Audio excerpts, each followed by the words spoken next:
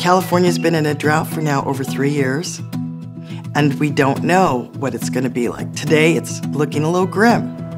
We have 800 acres of organic almonds. Some things that we're doing to conserve water is we've put in monitors that sense what's going on in the soil so that we are not overwatering or underwatering. Based on the university studies of what the tree actually needed, we were applying the water just that the tree was going to use. And then we've converted the majority of our almond orchards into drip irrigation. It's extremely efficient, eliminating most runoff and evaporation. Our organic, holistic practices do the best job at water cycling.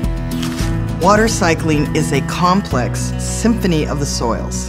Unlike soil that has been managed conventionally using synthetic chemicals, Organic soils create the space to store and retain moisture.